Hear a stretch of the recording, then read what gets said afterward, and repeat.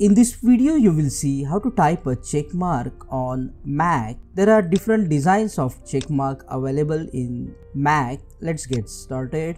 First you need to go to the edit tab and then click on emoji and symbols. You will see a small window like this.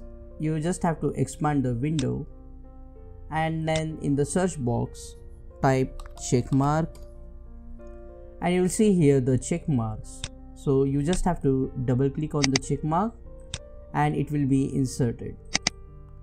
You can also see the variations of the check mark here. And then you can also click on it. And if you want a icon then for the icon you need to go to the shapes option here. And just type here tick and then double click on the tick. And you can also change the color of the tick if required you can also select the text check mark and increase or decrease the font size as per the requirement.